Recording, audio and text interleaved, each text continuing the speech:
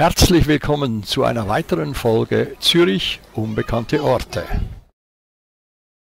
Heute möchte ich dir einen Ort vorstellen, der bei Zürich Besuchern und Touristen selten auf dem Besucherprogramm steht.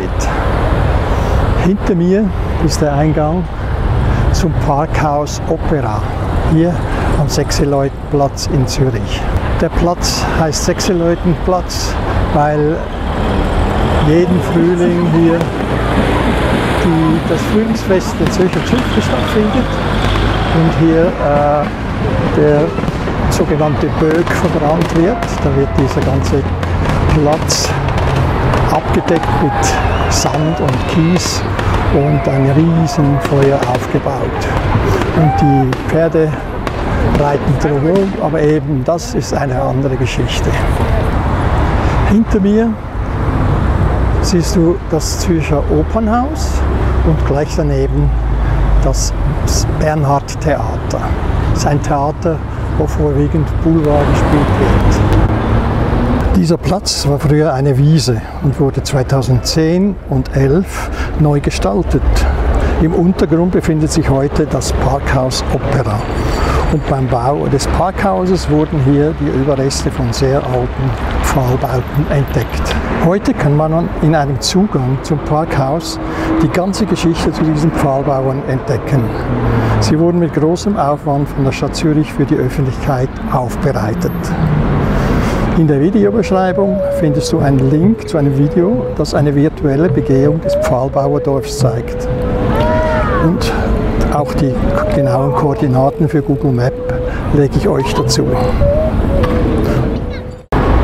So, und jetzt begeben wir uns mal in diesen Untergrund ins Parkhaus.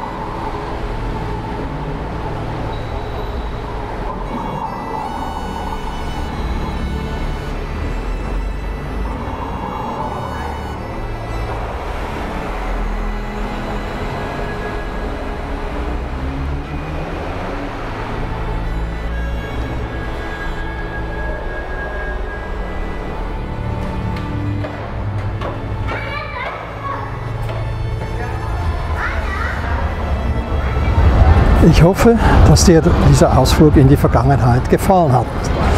Vielleicht hast du ja auch mal Zeit, hier vorbeizuschauen. Ich freue mich auf deinen Kommentar, ein Like oder gar dich als neuen Abonnenten dieses YouTube-Kanals. Gruß aus dem herzlichen Zürich und bis zum nächsten Mal.